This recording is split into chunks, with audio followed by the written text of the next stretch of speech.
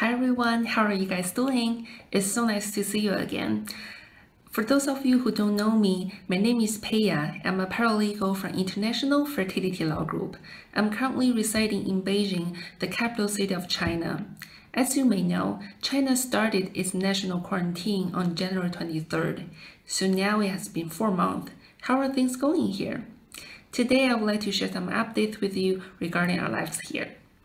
Generally speaking, I think um, the life here has almost come back to normal. The reason I'm using the word almost is because although people are going outside, but they're still wearing masks. And also for the restaurants, for the shopping centers, and the public transportations are reopened, still for the movie theaters, the stadiums, and the schools are still closed. I personally believe that school probably will be the last place that the government is going to open. In regards to the working environment, all the companies are allowed to have their employees to go back to the office um, to work every day. But still, um, people need to wear masks. As far as I know, people try to not to have in-person meeting. Rather, they um, prefer to have online meeting such as Zoom or WeChat call. Um, in regards to travel, for all the international or domestic travelers who want to get into Beijing now need to have a 14 days quarantine.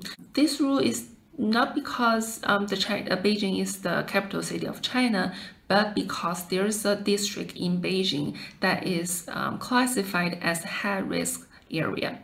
That district is called Chaoyang district and that's where I live. So I'm currently living in the high-risk area and that's the reason. Chaoyang district has met the two criteria to be considered as high risk.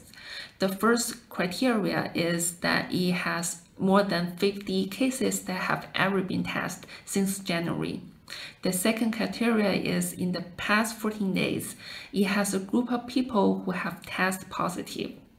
Um, for the second one, there's a reason for that. Because there was a student uh, like in two weeks ago he came back from another country and he tested positive and then his family all test positive so there was a group of people that's the reason that Chaoyang district was um, classified as high risk.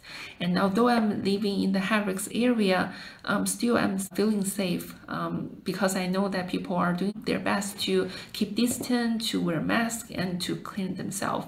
And uh, in the first week of May, there's going to be a national holiday in China, and that holiday is five days long. I'm pretty sure that people are going outside and they're gonna hang out. So um, I will keep an eye on any restriction on the residents um, in Chaoyang district. Um, lastly, I want to talk about the medical supplies. It's definitely easier and quicker to get all the medical supplies right now. However, for any medicines for cold or fever symptoms, uh, when you try to buy it through pharmacy store or buy it online, you will need to register your national ID and you have to describe very detail about um, what's your symptoms. Um, so that's a new way for the government to track all the potential patients.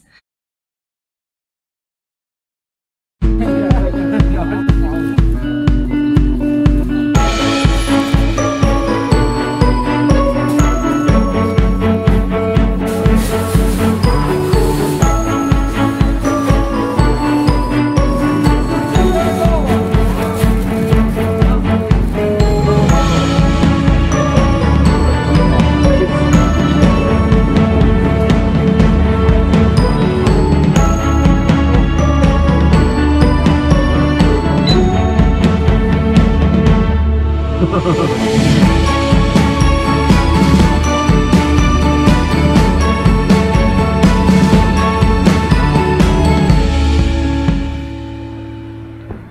all the information I would like to share with you today, and I hope that is helpful for you. I personally believe that the pandemic will end soon, and uh, we just need to have faith that everything will be better, and it does get better. Okay?